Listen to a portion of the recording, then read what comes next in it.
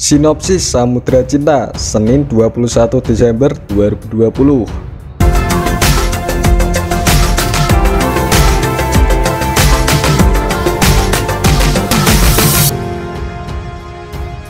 Pada saat itu Samudra Cinta dan Mentari sedang dalam perjalanan Tidak sengaja ada Bulila dan Pak Rusti yang melihat mereka dan mereka pun terkejut.